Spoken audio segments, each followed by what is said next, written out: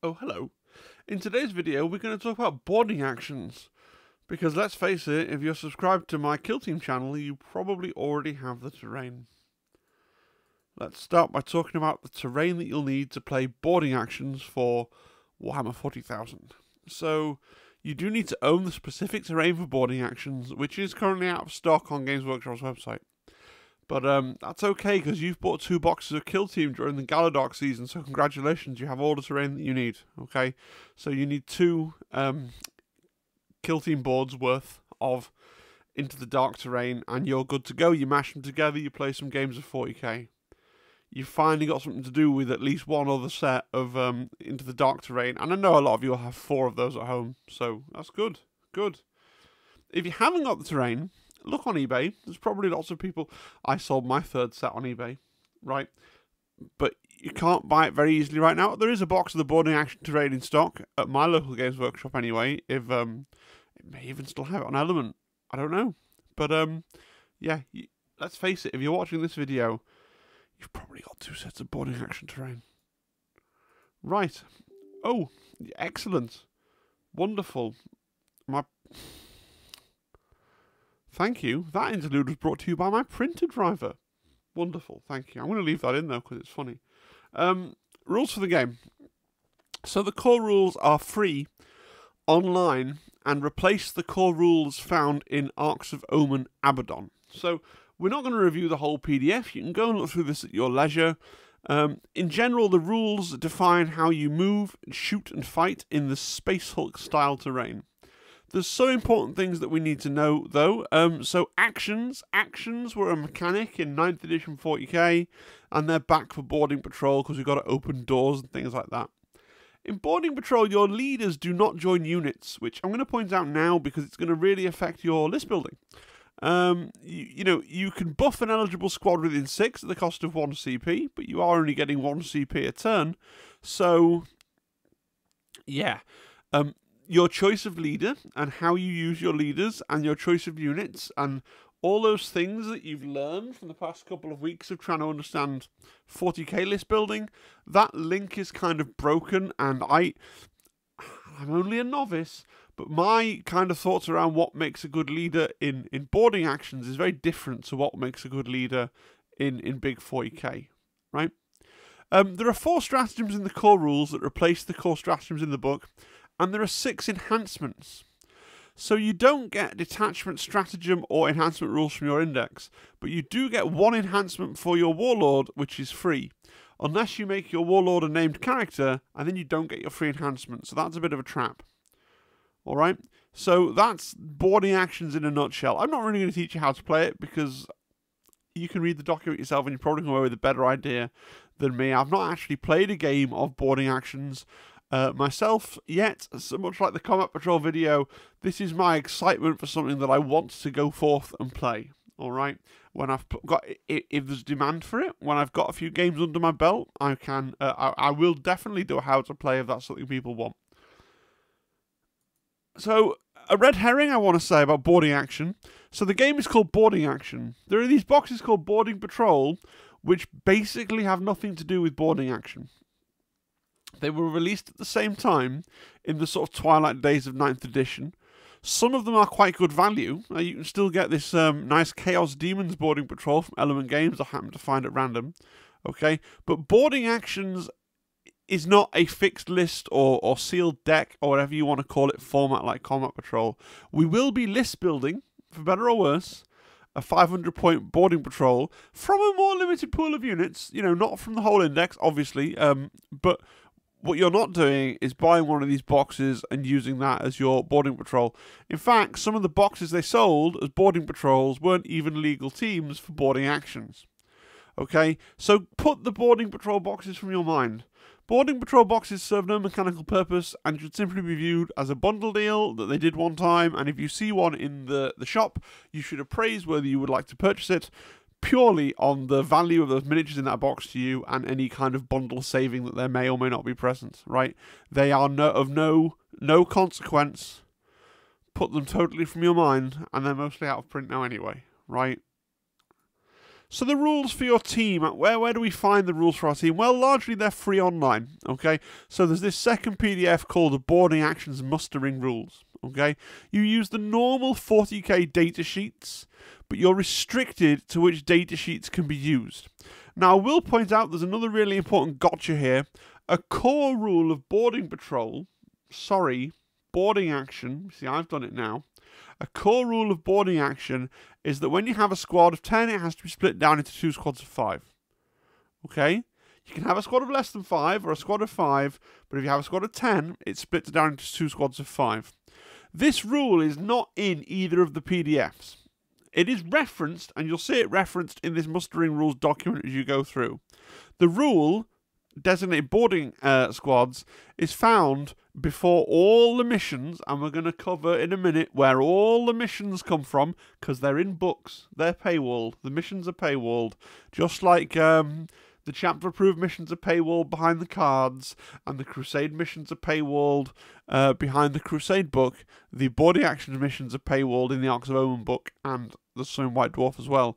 And that rule about boarding squads is there because it's in the kind of, oh, choose attacker, defender, blah, blah, blah, do this, do this. And one of the steps is separate out your your boarding squads because you can separate them differently depending on what you're doing, what the mission you're doing, and your opponent, right?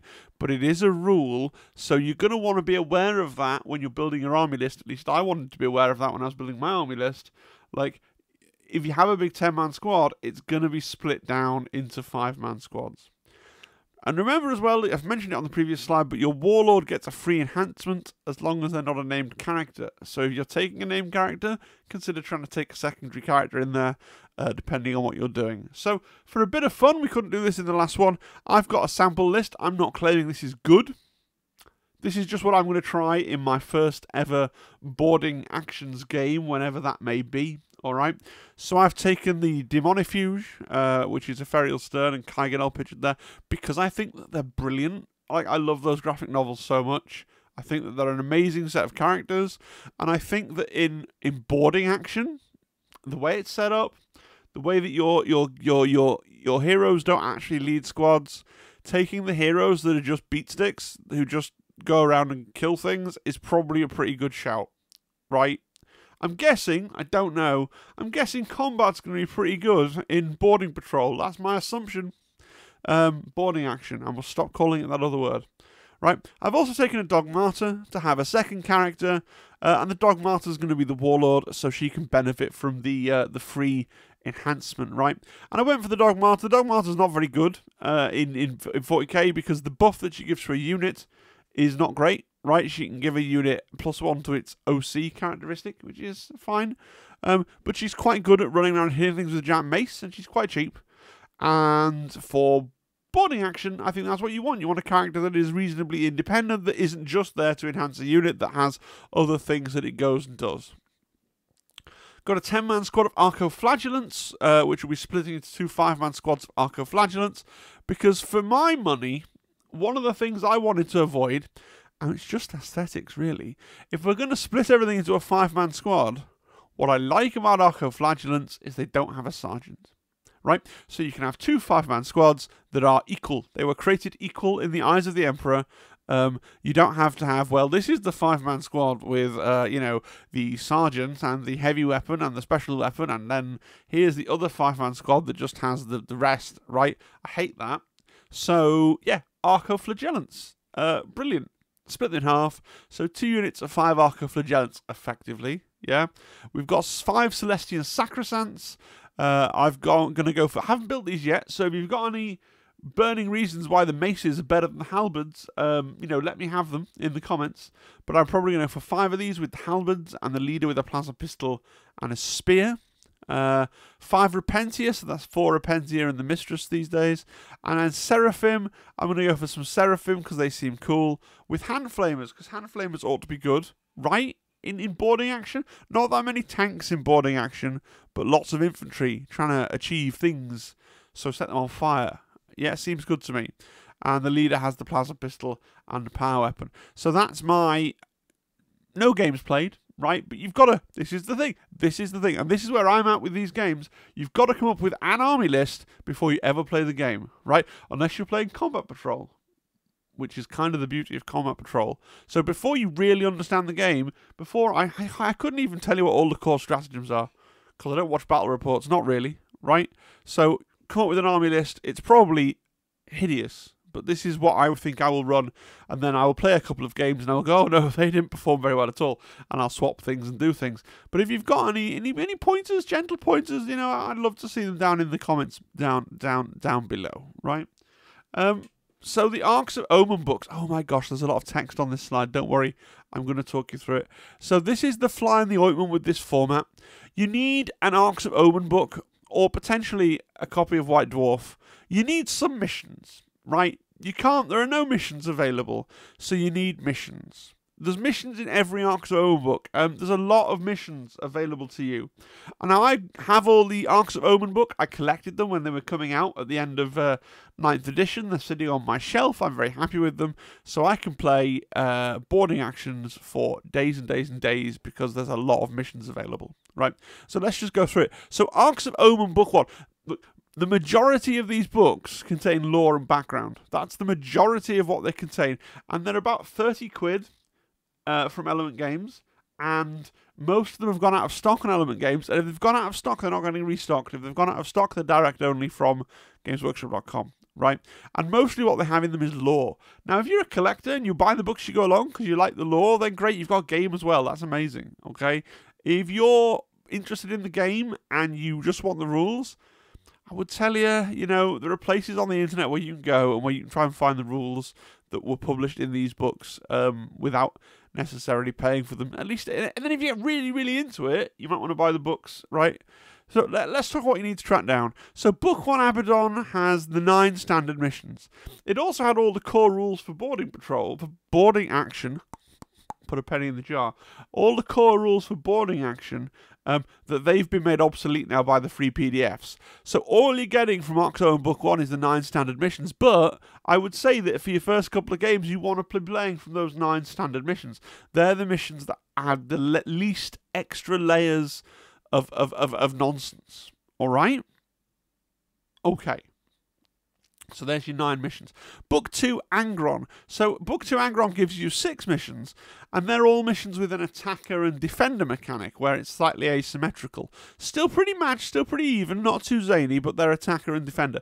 Um, and then there are rules for those missions. They make use of the narrative terrain sprue from Kill Team Into the Dark. Well, I know I've got that one.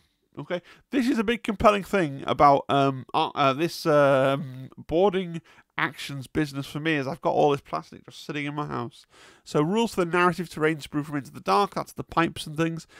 Extra stratagems, and, so here's where we get the army rules. So you get extra stratagems enhancements in uh, Book 2 Angron for Space Marines, Grey Knights, Astra Militarum, Chaos Space Marines, World Eaters, and Orks. So that is, you get a pool of enhancements that you can pick in the alternative to the ones in the core rules. I think there's about three for each of them usually.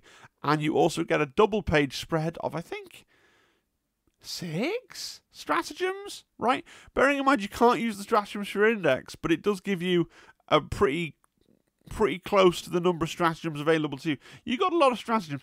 You haven't got a lot of command points. Get one a turn, just like 40k, right?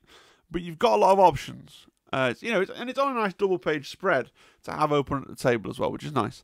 Um, and I will say as well that if you are a fan of Space Marines or Chaos Space Marines, the Space Marines and Chaos Space Marines have extra sections where each famous chapter, so like Black Templars, has an extra um, potential um, enhancement and an extra potential uh, stratagem on top of, layering on top of, because it's the slightly older 9th edition paradigm, layering on top of stratagems that were presented earlier in the book for Space Marines in general. Um, and also the Chaos Legions and some of the other Chaos um, famous war bands like the, um, Creations of Bile and that kind of thing have an extra stratagem and an extra enhancement alongside the ones provided gen- generally for that army. Okay. Book 4 Farsight has a really weird thing. It has something called Dark Depths mode, which I don't think I'll ever play. It's where each player constructs a um, into the dark board using half, using one kill team board from a pool of about a dozen potential layouts of boards, and then you smash them together. Right? So each player picks which one they want to use, and then you smash them together, and they don't always link up in the middle properly, and that's just in the rules saying, oh yeah, Ramshackle, Space Hulk, blah blah blah. So it's kind of bringing in a bit of that. If you ever played Warhammer Underworlds, at least at one point, Warhammer Underworlds had a thing where you brought a map half right to the table, and you and your opponent had two different maps. Is that a dream? Am I dreaming that? I seem to remember something like that, right? It's like that. You you basically have built a map as part of your army selection. That your army likes that map somehow, maybe I, I don't know, and then you smash it together with another map. Weird. You've also got rules for using the um, for multiplayer missions. The multiplayer missions are hilarious. There's four up, up to four four player multiplayer missions. I don't think I'm ever going to play them. I'd love to do it at some point, right? If I was a little bit if I wasn't where I am in life with a baby and everything else, if I was going to have a birthday party, right, I might have three mates around to play a multiplayer mission for for this. Or in fairness, there's multiplayer kill team ones as well, isn't there? It's much the same. But multiplayer is is one of those things where it's inherently unbalanced and it's hilariously good fun. Um, but we just never seem to, you know, we just never seem to be Getting two people together to play a game is one thing. Getting three or four people together to play a game is, is suddenly more difficult again.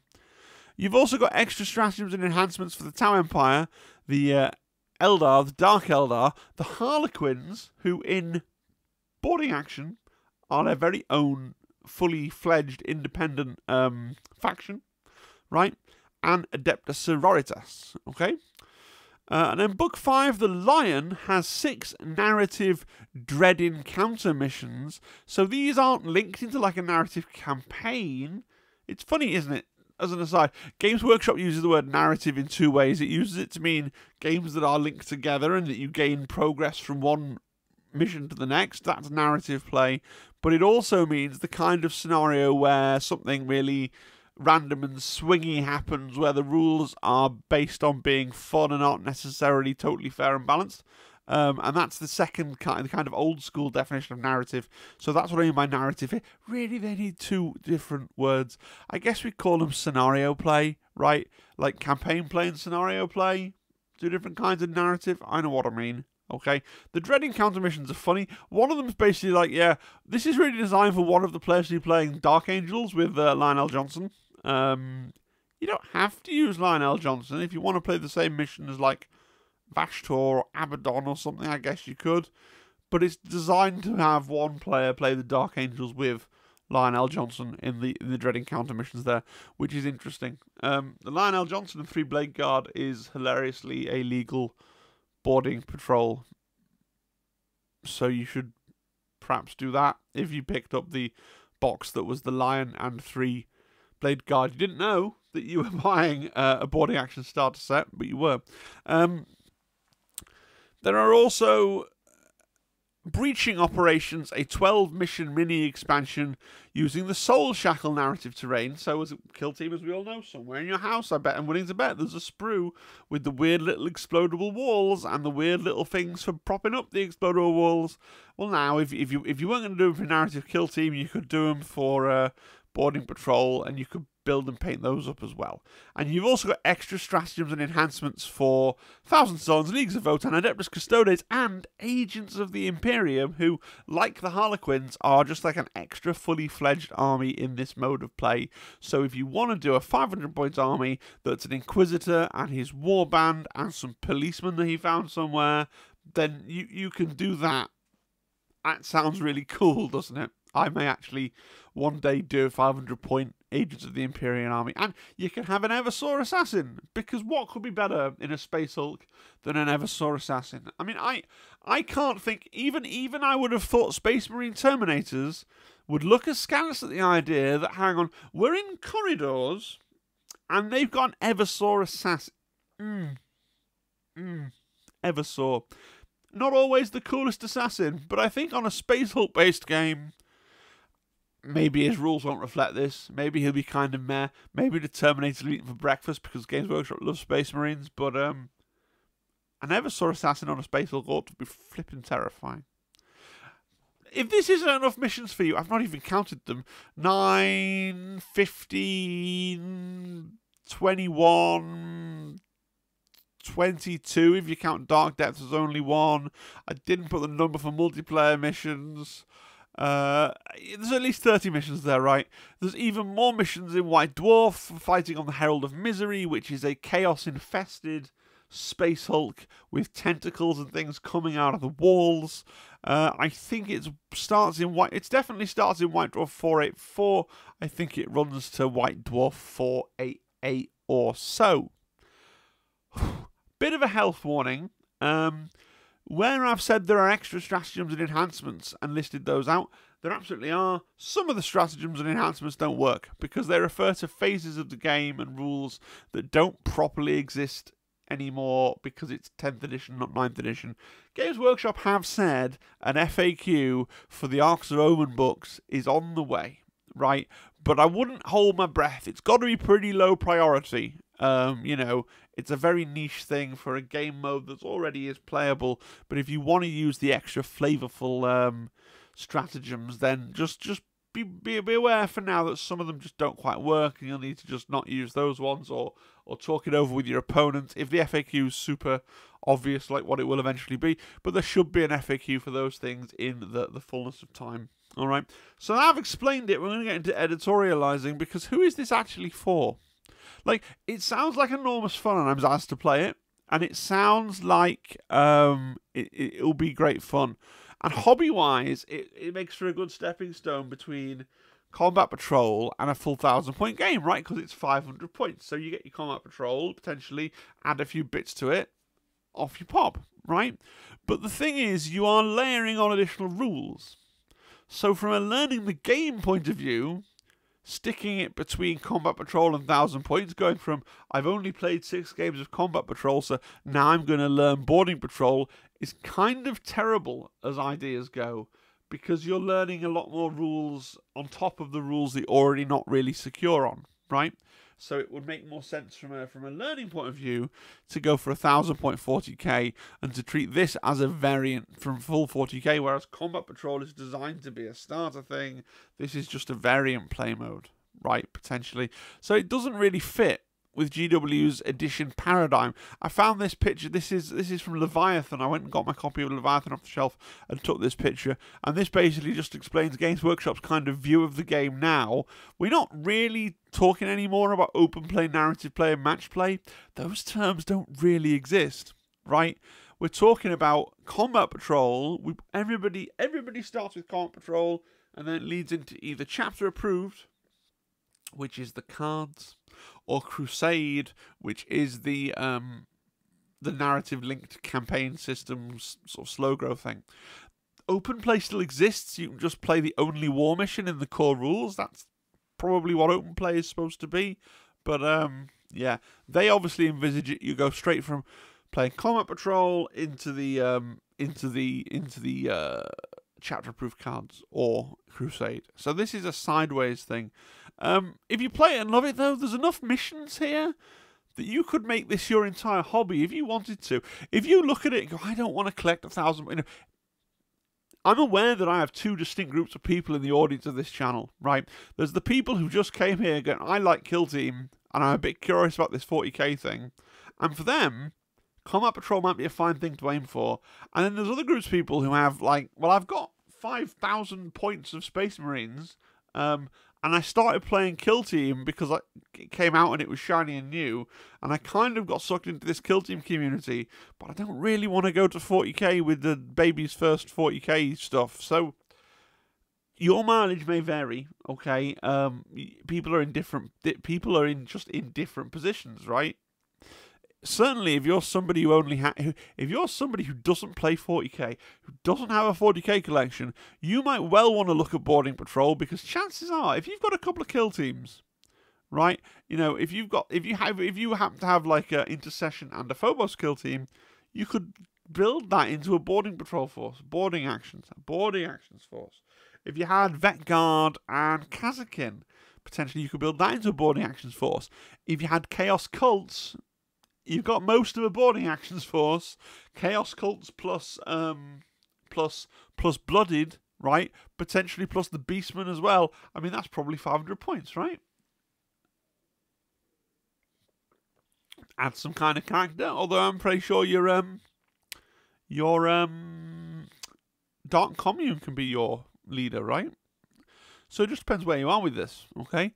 Um, but beyond that, it, it's just it's really annoying because from a hobby point of view, it makes great sense. Oh yeah, start here, then go here, then go here. But for, you just have to have a, a mind like a steel trap because you'll be learning a lot of rules. You won't be learning on slow. You'll be learning all the rules for 40k, uh, plus all the rules for shooting around in corridors uh, in one go this way, which is slightly suboptimal, maybe. I don't know.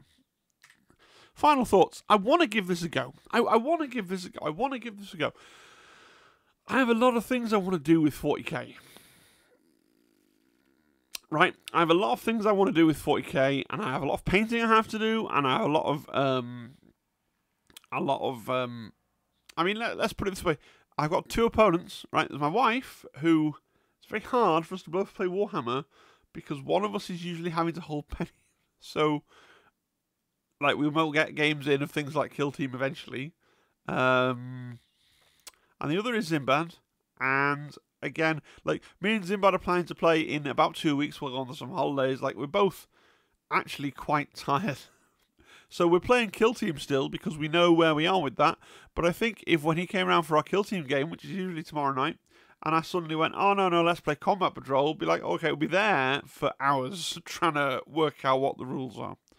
I mean, he knows the rules. He'd have to explain to me six times because I'm very feeble feeble minded in that in that way, right? And he's probably absorbed all of the rules from watching battle reports. But I, on the other hand, will be there going, um, please just teach me how to 40k.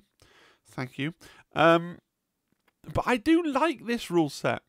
It looks simple and it's so totally unconcerned with balance, which is kind of great. Like you only, I, I read through all the scenarios in all of the Arks of Omen books, and it really does come through just how unconcerned they are with making it really balanced because there's so much stuff that's just randomly all in this hams. And, and this could happen. You go here and do that and whatever. And it's like, this is not a format that's really designed for anybody to try and break it, I don't think. And if you find yourself saying, "Oh yeah, yeah, I've really, I've really broken boarding actions. Here's my filthy list," like, there's no meta for boarding actions. Like nobody cares. Nobody, nobody cares. Like that's just going to result in your friends saying, "Okay, that's fun." Um, now that you've made your point and, and, and beaten me sideways in this one game, which is fine, I'll give you that one. Could you bring something else next week? Right? That's all it is. That's all the 40k community needs at the moment. Is just that one friend that goes, oh, "Okay, cool. That's really clever. Thank you. Well done." Like, I, I do think you should give it. To, if people come up with a list that's absolutely cracked, and they beat you, and it's ridiculous, and it's uninteractive, I actually think it's probably fair enough to say, "Oh, actually," because some people do treat these games like a Rubik's cube you know, to be solved for the most efficient value. And then said, yeah, that's really cool. Well, you know, uh, clever of you. You know, that was really quick and you really dominated. Can you bring something else next week? I think that, you know, and and the whole vibe I get from reading the books around this format is that's what the whole format is about. It's the format of just having a laugh and pushing plastic around. Like this, and I know all all games. Zimbad is always trying to tell me all the time, all games, all games, all games can be played that way, right? But this just has a vibe where that's like the default way to play it, if you know what I mean. So that's a fantastic thing. Um, I'll definitely paint up a boarding action force after my combat patrol, right? Because the things I need to paint up for my boarding action force, just to go back to it, why not? It's my video. I can do what I like. Where is he? There, right? So I've been painting up the Daemonifuge and the Dogmata. I've got 10 Arcoflagellants, and I painted up Celestian Sacrosants as well, right? Actually, only own 5 Celestian Sacrosants in my pile of shame. Need to go and buy 5 Celestian Sacrosants for my full army, right? Because my point is, in a 1,000 points, I'm adding in 10 Celestian to the Daemonifuge, and a Dogmata anyway. So all the hobby I would do for this is secretly hobby for my 1,000 point list as it is, right? So I may well do the combat, uh, the, the boarding patrol, and the boarding actions force after my boarding patrol, after my combat patrol. Yes, I know what I mean. Keep up. Um, and post it on the on Discord and say, "Look at this," and then I may actually just not play boarding actions for a while and actually build up to a thousand point step. I think that's more logical. Plus, the terrain is a real killer. Like, I, there's a big part of me that doesn't want to paint another half of the. I'm not going to lie to you, I own it in the box. It's there, ready to be clipped off the sprue and painstakingly masked off and undercoated and dry brushed and unmasked. But I just, I don't want to yet. I'll get there. The summer holidays is coming up. I'm really bored. Or I'll carry on with a new. I've started a new Skyrim playthrough. Members will know what I feel about that. Um, let me know your thoughts and feedback down below. Yeah. Uh, do, are you excited to play the game? Maybe you want to get into it just, uh, you know, like I say, for me, it doesn't make sense as a stepping stone, as a slow growth from, from the combat patrol to the boarding action of full 40k because of the rules complexity issue. But from a person that's buying models, especially my community where I know, not everyone, some of you are 40k uh, players for years, but I know there's a lot of people here who are kill team, and so they have all the terrain, and they're 40k curious, and this really does give you something useful to build towards for that. So I can really see it. I can really see it. So let me know what camp you go uh, in down the bottom. I'd be really interested if you're going to give this a go. Let me know if you already have a 40k army, right? And if you're not that interested, and it's because you've already got enough models to do a 2,000 point game. That's interesting as well, I think. All right. All right. Hope you've enjoyed the video. If you have, um, give it a like, uh, please, because it's. What I'm trying to do at the moment is one video that's kill team focused every week, the hobby stream, and then I'm allowing myself one 40k video every. I don't know whether I'm going to keep it up that way. That's just the way I'm doing it at the moment. We'll see where the chips land. Eventually, I will run out of things to talk about for one system or the other. Hopefully not both, because that's going to be a boring couple of weeks. Um, so let me know. Uh, and then if you really like the video, subscribe, join the join the Discord, join the YouTube channel, give me some money. That's nice as well. Do all the things, all the things, and I'll see you again for the next video, which is due out on the weekend at some point, usually Sunday evening. Bye bye, bye bye bye, bye bye, bye bye bye, bye.